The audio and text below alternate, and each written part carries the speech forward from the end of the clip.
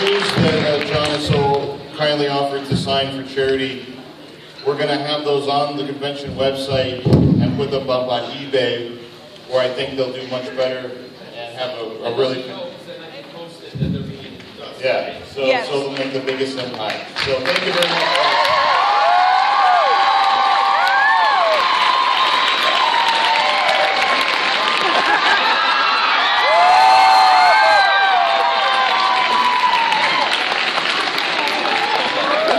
Thank you.